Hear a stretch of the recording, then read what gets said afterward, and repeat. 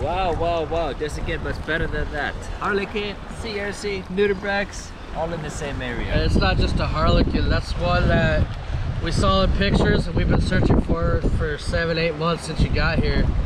We, we, were, we were pretty much convinced that there wasn't that species here.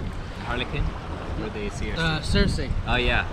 We only Uh, see pictures in Mactan and Cebu of that one. 1st We've time got, here. we've got a few other Cyerces here you guys seen on the channel. But this particular Cyerce that we just found, we've never seen for eight months. We always see pictures of Romblon or something else, but we didn't think they were here. And we finally found them. Uh, and there was like five in one coconut. so you guys are definitely gonna watch that. You're definitely gonna want to watch till the end of this video because it's it's probably I'd say probably the rarest and coolest nudie we've found yet. Cyerce, yeah, Yeah, perhaps. Cyerce. Yeah, might be the best one. Plus we saw Harlequin shrimp and so many other. I can't believe that was just one dive. That was awesome. And by the way, me and Alex Alex found this Harlequin about three or four days ago, and it didn't even have the blue dots on them, so it's a juvenile one. But today, a Oh. few days later, we're seeing it already grown double its size probably. So his blue spots weren't there the other day. No. You guys definitely want to see this video. It's gonna be an awesome one. Crazy.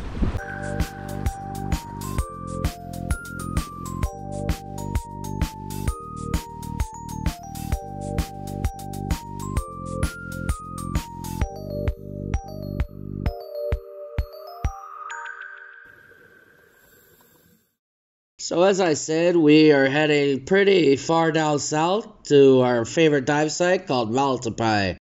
It's going to be an awesome dive today.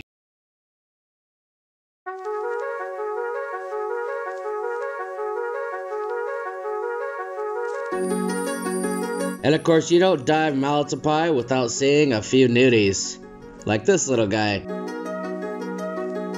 We already have this guy in our book, but this is a little tiny juvenile and really cool to see. He's pretty photogenic and pretty cooperative as well.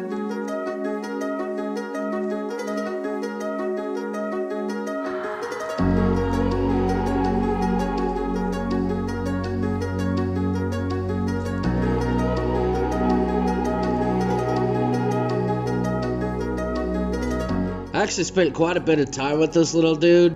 He was sitting on the inside of a coconut, like a half a coconut that was just sitting on the seafloor.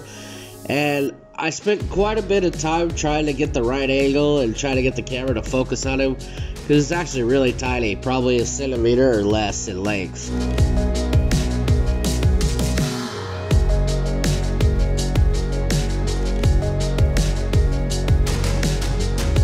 And then nearby, we found our old friend, the Harlequin shrimp. He's been there for about a week at least, except last week when we saw him, he didn't have his blue spots yet. This is definitely a baby and the smallest Harlequin shrimp we've seen. And this week, he's grown his blue spots. Pretty soon, those spots will be quite big and colored in. It'll be pretty neat to see.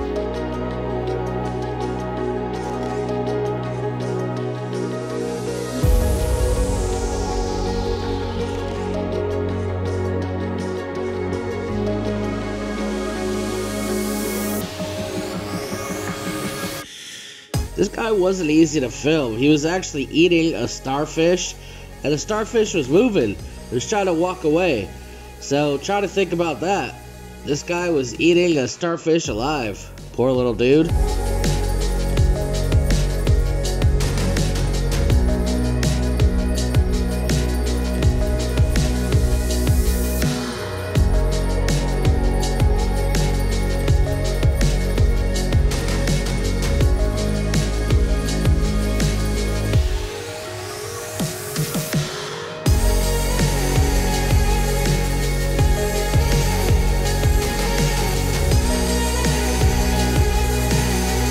And nearby him was an even tinier break, a weird one that we've only seen a few times so far.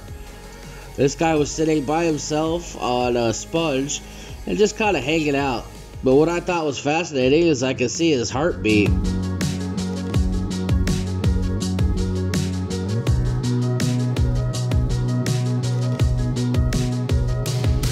This is a really bad spot to be. It was really hard to film because he was on a sponge where I couldn't set up a tripod or lean on the sand or anything. So it's just kind of handheld. And of course, I'm not filming in slow motion right now, just trying to get the higher resolution. So it's kind of hard to be completely still. A little later, we found this little tiny pygmy cuttlefish.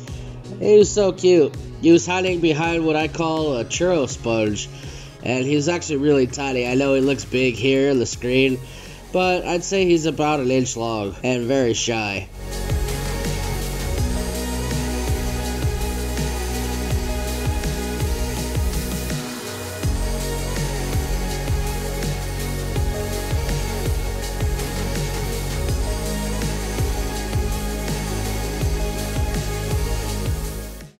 These two loonies were having some kind of fun together. I don't know what they were doing.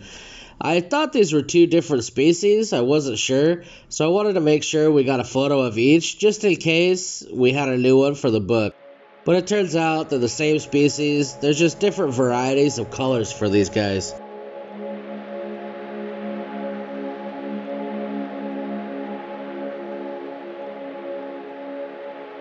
But guys, this next critter is one that we've been searching for for a long time. Kind of the holy grail of all nudibranchs. It's the butterfly cyerce. This guy we've seen in photos and videos from Romblon and Lembeh and Bali and places like that. But we just assumed there was none here in Dauin or the Negros coastline. Because we've searched everywhere, hundreds of dives, finding all sorts of species, but never this one. So we just kind of chalked it off as not being here. And then one day, on a half coconut here in Malatapay, we found six of them. Yeah, there's a whole family, all different sizes, all living on this coconut.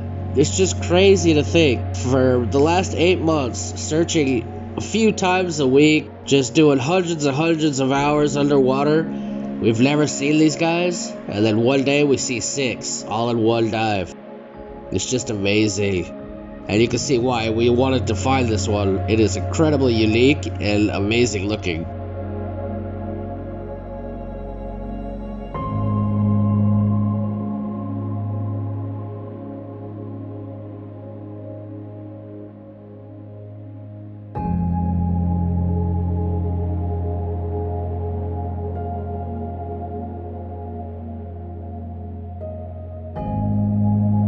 So there you have it, guys. Thank you so much for watching. This might even be the cover for our book. And if you're interested in that book, you can go down below and sign up for our mailing list, and we'll let you know when it's available. Thanks for watching. So I hope you guys enjoyed that footage, especially of the rare Cyerce Break. Like I said, we haven't seen that one before. We've been searching for it specifically for a long time because we have friends posting up from Romblon and Mactan, other places around the Philippines, but we couldn't find them here. Nobody can even confirm they were here, but I guess we just did. Uh, so I'm always practicing with the uh, TG6. no, trying different settings, trying different lights. And I would say a lot of people, including myself, you get blinded by how awesome the subject is. Like, if you're filming a whale shark, people forget if it's good or bad quality, you know? So we're lucky we have all these subjects, but I think I don't want to get blinded by how awesome they are. I want to produce as high quality as I can with the cameras I got.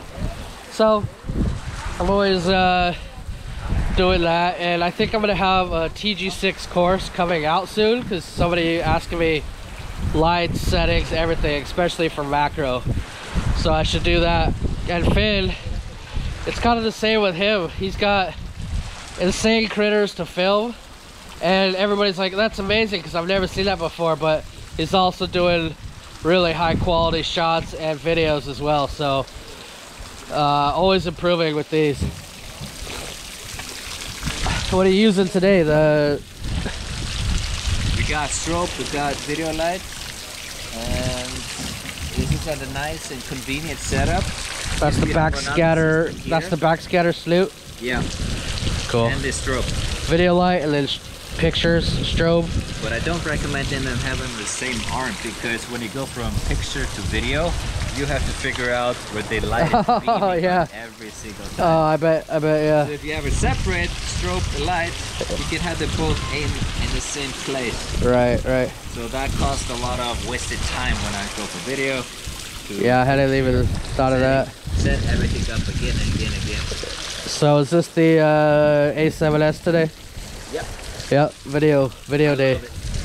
Even the pictures, someone's going to take picture because the auto autofocus is boom, boom, boom, boom, Yeah, super fast. that's cool. Alex found some awesome critters today, so uh, I mean, you can look at his channel.